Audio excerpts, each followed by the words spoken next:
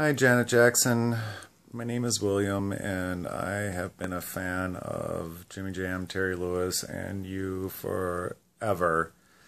And um, just want to let you know that a lot of your music got me through a lot of things. And, um, well, it's kind of hard for me to tell you this, but my uh, brother was hit by a drunk driver about five years ago.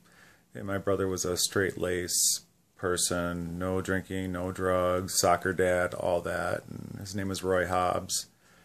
And um, right after that, my mom ended up passing away a month after he passed away, and my mom passed away from lung cancer. So it was really hard for me and my sister. And then my sister told me that she was HIV positive, and she ended up passing away from AIDS.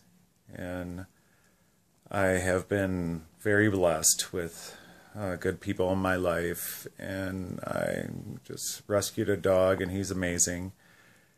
And just to let you know that um, your song, Take Me Away, off of your new album, has been a godsend to me. So I just I know how else to uh, get a hold of you or what to do, but that "Take Me Away" song is so 100% incredible.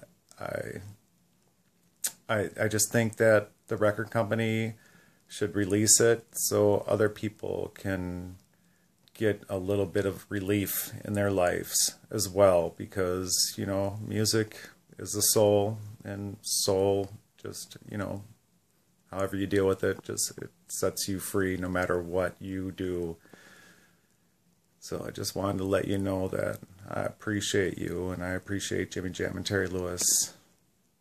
And I, I wish the best for you with your new family and the things that you are going through as well. Thank you.